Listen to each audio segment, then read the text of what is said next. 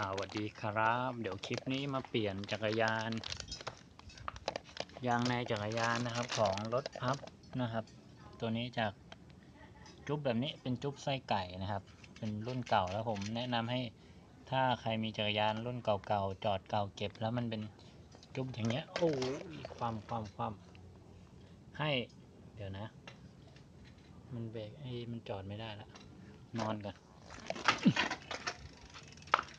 เนี่ยถ้าถอดออกมาแล้วเป็นไส้อย่างเงี้ยนะเป็นไส้ไก่อย่างเงี้ย ผมแนะนำให้เปลี่ยนยางยางในใหม่เลยนะครับ ให้เปลี่ยนเป็นจุ๊บแบบจุ๊บมอไซค์จุ๊บรถยนต์อย่างเงี้ยนะครับ เดี๋ยวผมจะเปลี่ยนให้ดูนะครับมาวิธีการเปลี่ยนก็ไม่ยากนะครับ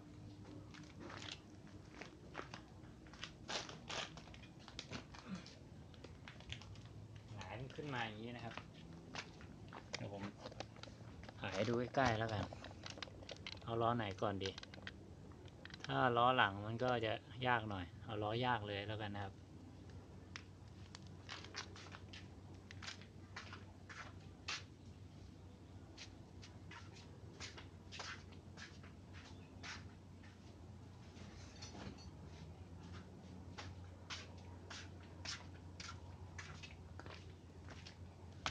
ให้ทำการถอดน็อตออกนะครับ มันจะมี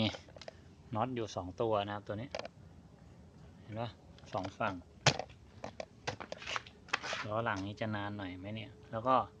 ตัวนี้ต้องถอด เป็นดัมเบรกนะครับถอด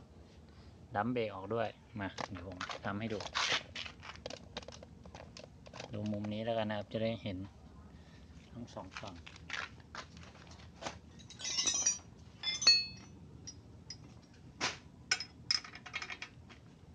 เบอร์สิบห้านะครับ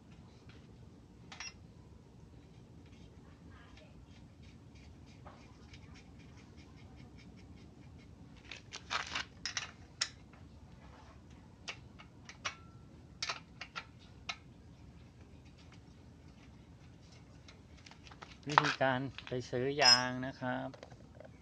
ให้ทำการดูที่ยางนอก เดี๋ยวนะผมหาเบอร์ยางให้ดูก่อน อะ มันจะอยู่ที่ขอบล้อนะครับ เดี๋ยวนะ เห็นไหมเนี่ยเนี่ยเนี่ยเห็นปะเนี้ยสิบแปดคูณหนึ่งจุดเจ็ดห้าก็เป็นวงล้อขนาดสิบแปดนิ้วนะครับ ก็จดอันนี้ไปสิบแปดคูณหนึ่งจุดเจ็ดห้าแล้วก็ไปซื้อยางมา เนี่ยนะครับ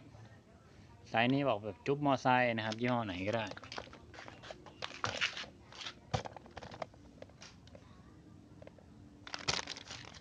พ อได้ยางในมาแล้วก็มาถอดตามนี้นะครับ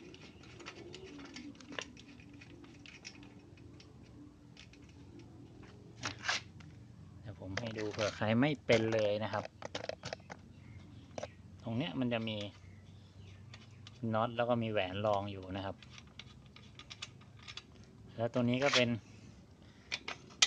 อากาดบังโคนขาค้ำของบังโคลนนะครับ อันนี้ก็เป็นขาตั้งตาม step ฝั่งนี้นะครับ อันนี้ step ฝั่งเกียร์เพราะตอนใส่เราต้องใส่กลับไปเหมือนเดิมนะครับ เพราะมีน็อตอยู่ตัวหนึ่งเหมือนกันอ่าผมถอดออกมาแล้ว ถอดน็อตนะครับ ก็แหวนรองขาแนวขาของตัวบังโคลนนะครับ ถอดออกทำนี้เลยอ่าตัวนี้เป็นขาการ การตัวตีนผีนะครับ การกระแทกอะไล่ไป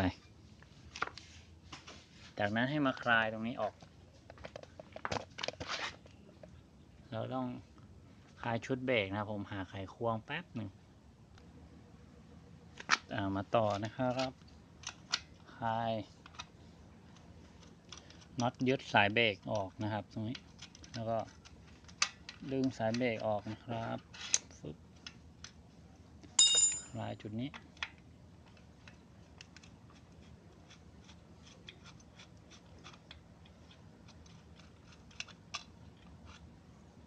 มันจะมีน็อตอยู่ข้างหลังนะ ใส่กลับใส่กลับให้ถูกนะครับ ทีนี้เราก็จะเอาโซ่ลง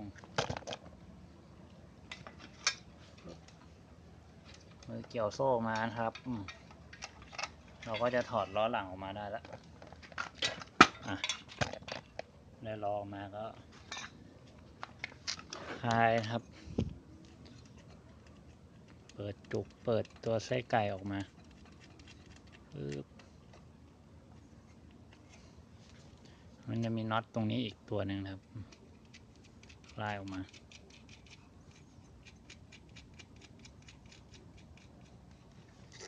แล้วก็ ใช้เหล็กงัดยางครับ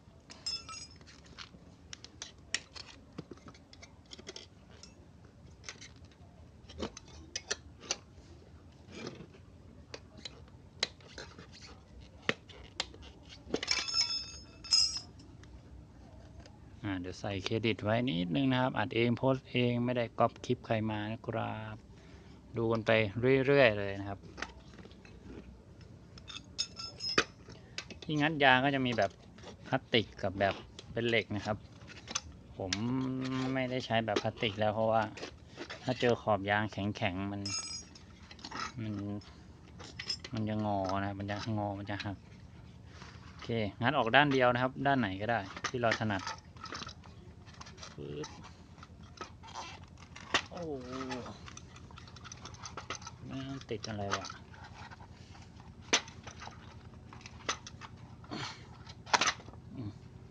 จุด ปะนะครับ เป็นจุดปะเดิมวิธีเช็คนะครับ เราก็ใช้มือลูดเข้าไปในผิวยาง เพื่อดูเผื่อมันมีพวกลวดตะปูตำอยู่นะครับค่อยๆลูดช้าๆอย่าลูดแรงถ้ามันมีเศษลวดเศษน็อตเล็ก ๆ มันเศษเข็มมันจะตำมือเราได้นะครับอะลูดดูสักรอบสองรอบถ้าไม่มี ก็เอายางใหม่มาใส่เลยนะครับ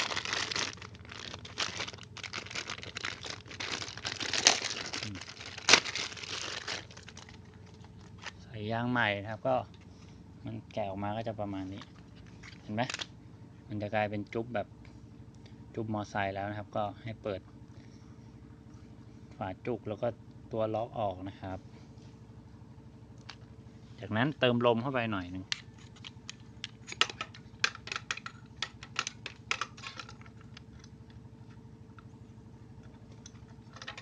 สูบใช้ได้ว่ามันไม่ได้ใช้ไม่ได้ใช้นานแล้ว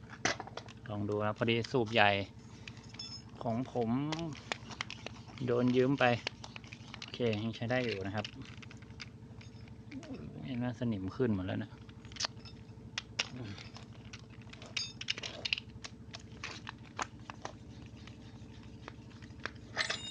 สูบไม่ต้องตึงนะครับ สูบพอให้มันได้ทรงเนี้ยอ่าฮะ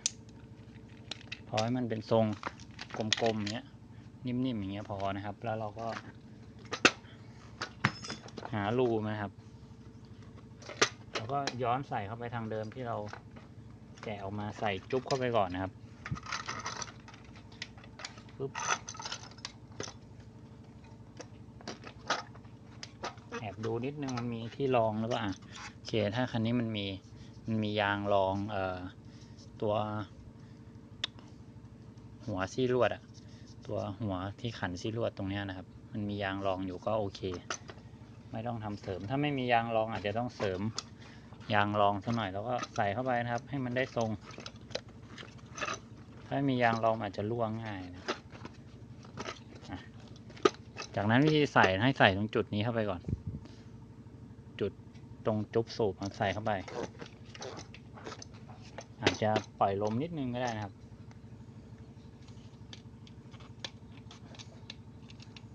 เดี๋ยวนะมันมีเข็มแทงลมวะเนี่ยอ๋อมีมีมีนะ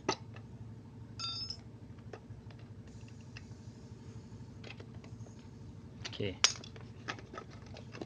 ไปแล้วก็บีบบีบบีบเข้ามานะครับ จุดนี้ดันเข้าไปนิดนึงอ่าดันเข้าไปหน่อยหนึ่งแล้วก็ขยับขยับยางให้มันเข้าล็อกนะครับ แล้วก็ใส่แหวนล็อกเข้าไปนะครับ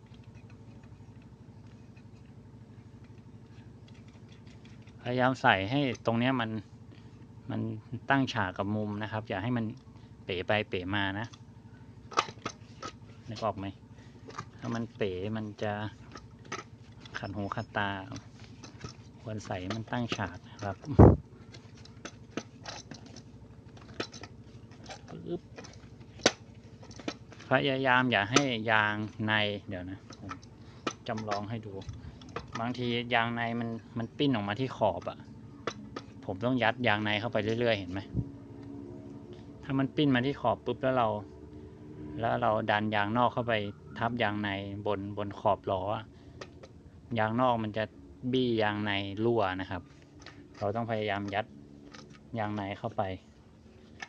ด้วยตลอด อ่ากรณีนี้ มือเราสามารถดันยางเข้าไปได้แต่ถ้ามันแข็งจัดนะครับ ให้เราทำการสอดตัวนี้เข้าไป อย่าให้มันบี้อย่างในระวังนะครับ สอดให้มันเรียบกับ ขอบล้อแล้วก็งัด ให้ปลายตรงเนี้ยจิกเข้าไปที่ขอบล้อนิดเดียว ให้มันมีจุดงัดนะครับ นิดเดียว อย่าให้ทับอย่างในด้วย สอดเข้าไปในเนี้ยแล้วงัดปึ๊บเข้าไปนะครับ ถ้าอันที่หนึ่งเข้าก็เข้าถ้าอันที่หนึ่งแล้วยังไม่ไม่อมงัดอันต่อไป เข้าไปนะครับไล่ไปไล่ไปเรื่อยๆโอเคนะครับ ประมาณนี้เผื่อใครเจอขอบยางแข็งๆโอเค พอใส่เข้าไปอย่างนี้ปุ๊บตรงนี้ที่เราล็อกไว้นิดนึงนะครับปึ๊บหมุนเข้าไป ให้ ตัวสูบมัน มันเข้าไปสูบได้นะครับปึ๊บจากนั้นก็สูบนะครับ ลมให้มันตึงๆเลยละ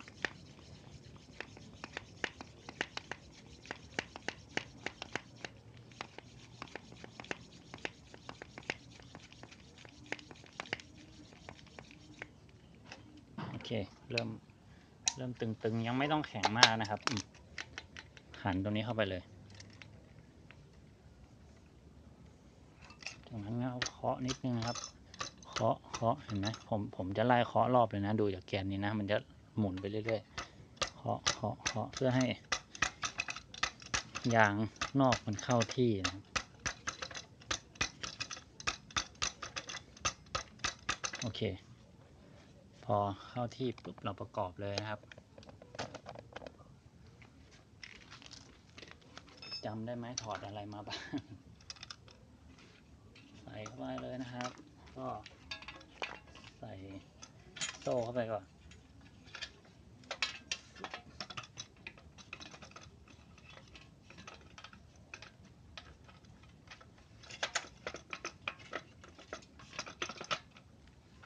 จาก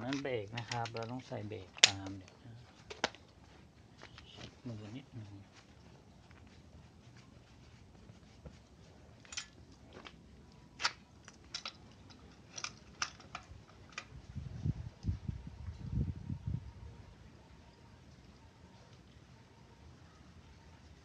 เห็นไหมเอ่ยอะดูใกล้ๆเลยครับ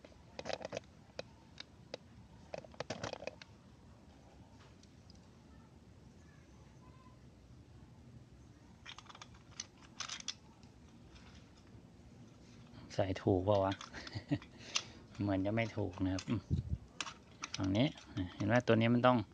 มันต้องมาลอง มาลองกับตรงนี้ครับ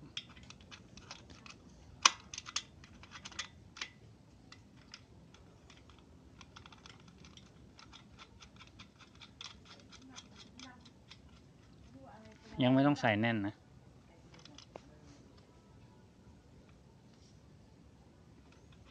เพราะเรา ต้องเดี๋ยวตั้งตั้ง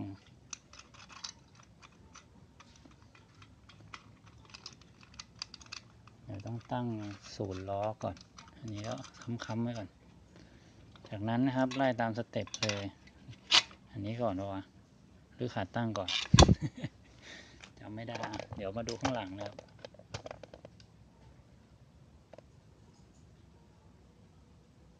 อืมผมไล่ สเต็ปก่อน น่าจะขาตั้งก่อน ขาตั้ง ตัวนี้บางโคนนะครับ แหวนแล้วก็น็อต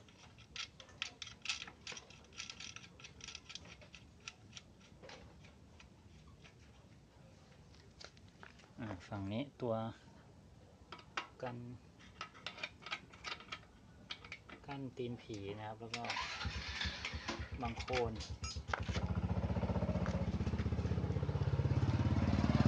ใส่แหวนเข้าไปนะครับ ใส่แหวน แล้วก็ขันน็อต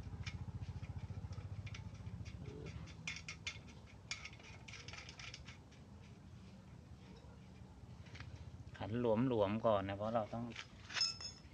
นี่เดี๋ยวนะ ผมยกขาตั้งให้สูงนิดนึง ให้ดูศูนย์ล้อหลังนะครับ ดูยังไงจะเห็นชัดตรงนี้ไหมอืมนึกไม่ออกเนี่ย ตรงกลางตรงนี้นะครับ ฝั่งจากโค้งเนี่ยโค้งเหล็กสองฝั่งเนี่ยกับล้อเนี่ยพยายามให้มันตั้งให้มัน balance นะครับ อย่าเอียงฝั่งใดฝั่งหนึ่งให้มันอยู่กลางกลางๆ แค่นี้แหละที่อยากให้เห็นปึ๊บมา ตัวนี้ไม่ยากนะครับ ที่ตั้งอ่า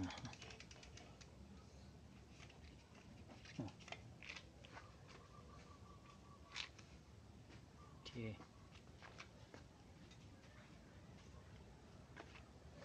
อันนี้ผมจะอ้างอิงจากมาร์กน็อตเดิมของเบรกแล้วกันนะ เนี่ยให้มันอยู่จุดเดิมนะครับ เนาะมันจะได้ศูนย์เดิมของของรถ มันไม่มีหางปลานะ รถมีเกียร์นะครับ อะ ตามนี้แล้วกัน ง่าย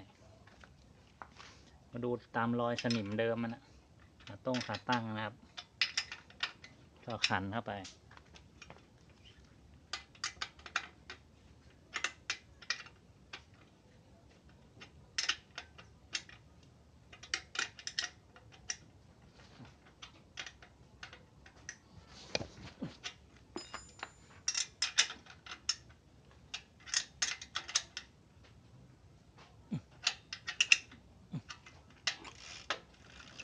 โอเคแถวทีนี้ บางโคนตัวบางโคนนะครับเราดัดได้เลยนะบางโคนไม่ได้ศูนย์ยังไงเราเอามือดัดได้เลย ดัดของดัดขามันได้เลยนะครับไม่ต้องซีเรียสอะแล้วก็มาตั้งเบรก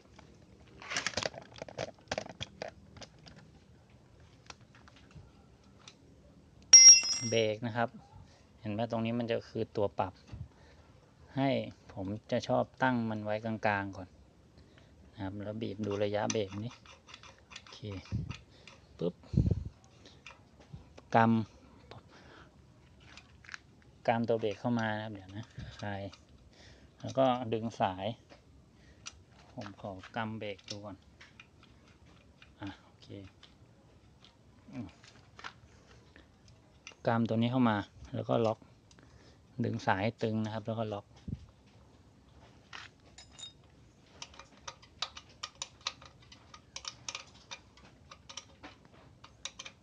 ก็หมุนล้อดูว่าฝืดไหม ถ้าฝืดปุ๊บหย่อน หย่อนตัวตั้งลงปึ๊บยังฝืดอยู่ ถ้ายังฝืดอยู่ให้คลายสายสลิงออกนิดนึง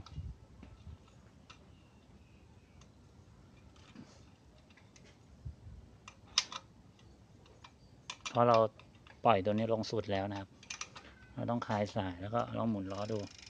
อย่างนี้ถือว่าพอได้นะครับแล้วลองเบรกดูโอเคเดี๋ยวค่อยว่างอีกทีถ้าเบรกไม่อยู่ก็ ก็มามามามาตั้งตัวนี้นะครับ ตั้งหมุนหมุนออกมาประมาณนี้เนาะแล้วก็ล็อกน็อตตัวเล็ก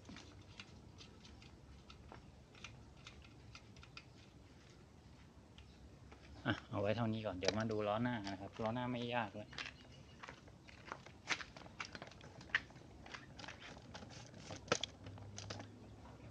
แป้งล้อหน้ามันมุมสูงนิดนึงปึ๊บอืมอะมุมนี้แล้วกันนะครับ ล้อหน้าก็มีแค่สองส่วนน็อตล็อกซ้ายขวาน็อตล้อน้อมนจะเล็กกว่า เบอร์สิบสามสิบสี่นี่แหละอ้าวตัวนี้ซอเท่ากัน เป็นประแจเบอร์สิบห้านะตัวนี้ชุ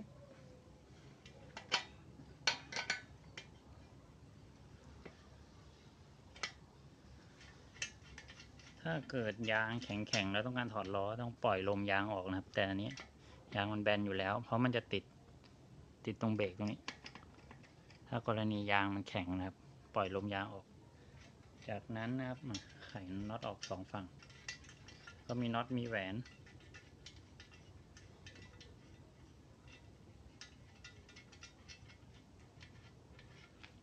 แล้วก็ขาบางโคนเห็นไหมเขาดัดดัดตามสะดวกเลยนะครับ ทีนี้มันจะมีข้างหน้าล้อหน้าจะมีอันนี้นิดหนึง ให้ดู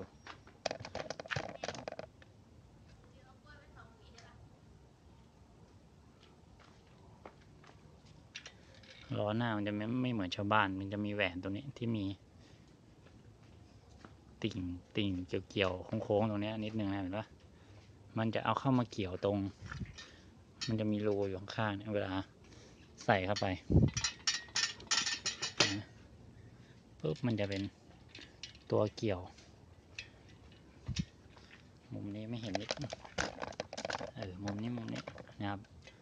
ต้องนึกสภาพเวลามันกลับหัวไอ้นี่มันจะตั้งขึ้น มันจะเป็นตัวเกี่ยว เกี่ยวไม่ให้ล้อมันหลุดลงไปนะครับนะมันจะเกี่ยวกับตัวตะเกียบหน้าไว้นะเห็นไหมเกี่ยวกับรูรูนี้ไว้เลยนะครับอืมเวลาเราล็อกน็อตเข้าไปปุ๊บตัวนี้มันก็จะล้างให้มันอยู่ในในที่ของมันไม่ให้ล้อมันหลุดลงไปนะครับ ประมาณนั้น มันเป็นตัวแบบ มันตัวตั้งศูนย์ด้วยป่ะผมไม่แน่ใจนะอะเดี๋ยวเปลี่ยนให้ดูเร็วๆเลยไม่มีอะไรแล้วก็ใส่ให้ถูกนะครับว่า จุดนี้มันถอดยังไงใส่ยังไง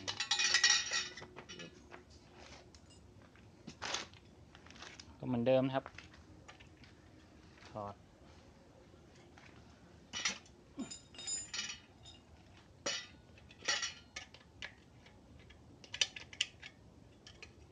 แหวนล็อกถอดไส้ไก่ออก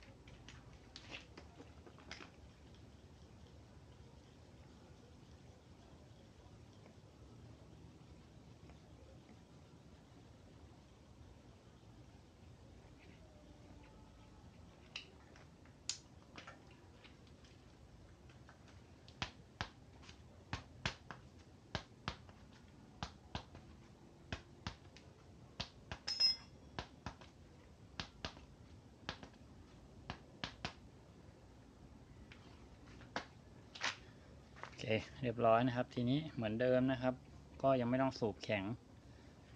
จากนั้นก็ดูลายล้อนะครับว่าล้อ วิ่งทางไหนโอเคทีนี้ไม่ต้องสูบแข็งนะครับ บีบ ถ้าเราสูบแข็งปุ๊บมันจะติดเบรกนะครับบีบเข้าไปปึ๊บนะครับแล้วก็ใส่ ไอแหวนรองงอๆเนี่ยเข้าที่ก่อน จากนั้นขาบังโคนหน้า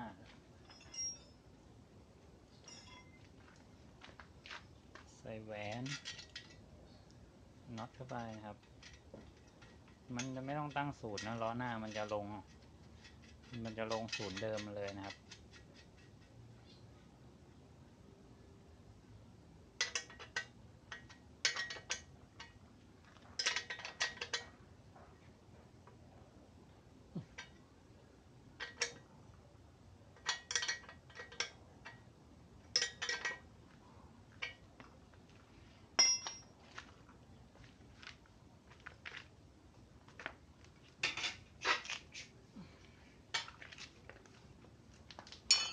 โอเคนะครับ ก็ เสร็จเรียบร้อยแล้วนะครับสำหรับ การเปลี่ยนจุ๊บนะครับ จากจุ๊บ